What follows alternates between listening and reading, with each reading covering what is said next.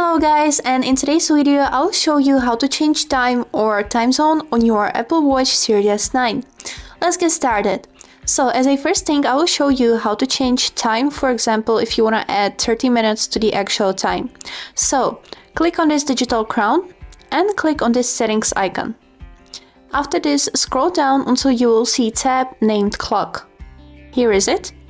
Click on it and scroll lower until you will see this tab. If you will click on it, right here you'd be able to add any amount of time to your actual time. For example, I will add 15 minutes.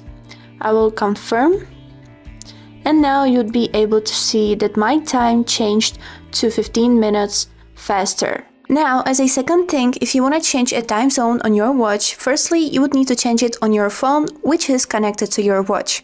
For that, open settings on your phone and click on this tab named General. After this, click on this tab Date and Time and turn off this function set automatically. Right here, click on the time zone and enter the city that you want to switch for. For example, I will type in Los Angeles. Here is it.